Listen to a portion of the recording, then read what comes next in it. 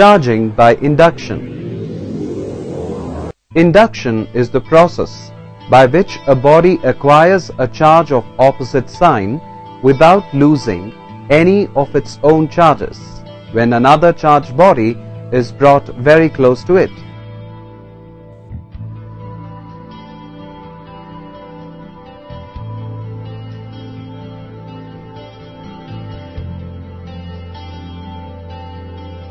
Let us try to make a metal sphere positively charged by bringing a negatively charged glass rod near it. The metal sphere which is supported on an insulating stand is initially neutral. Bring a negatively charged rod near it without touching the sphere. The free electrons in the metal sphere are repelled by the excess of electrons on the rod and they shift away from the rod.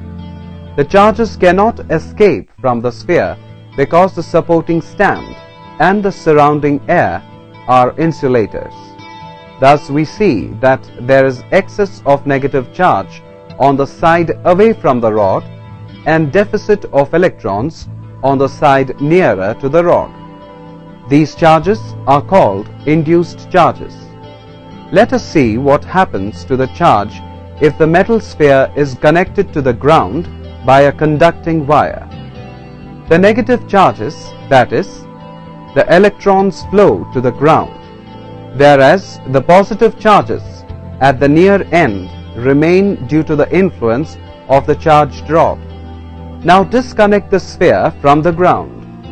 The positive charge continues to remain on the sphere. Let us see what happens when the rod is removed.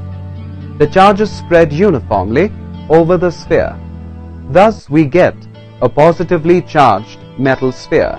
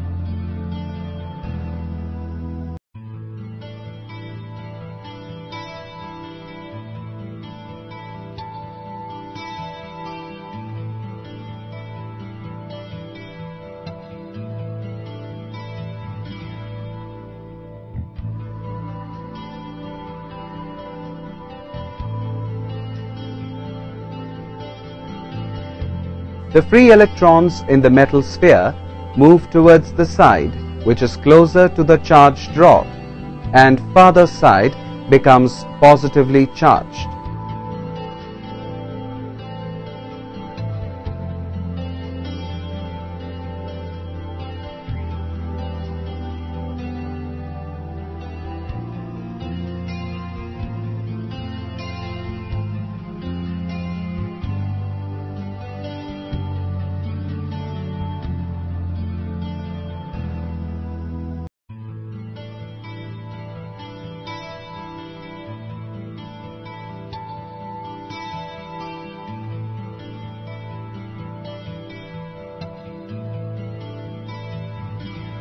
If we ground the sphere, electrons flow from the earth into the metal sphere and neutralize the positive charges.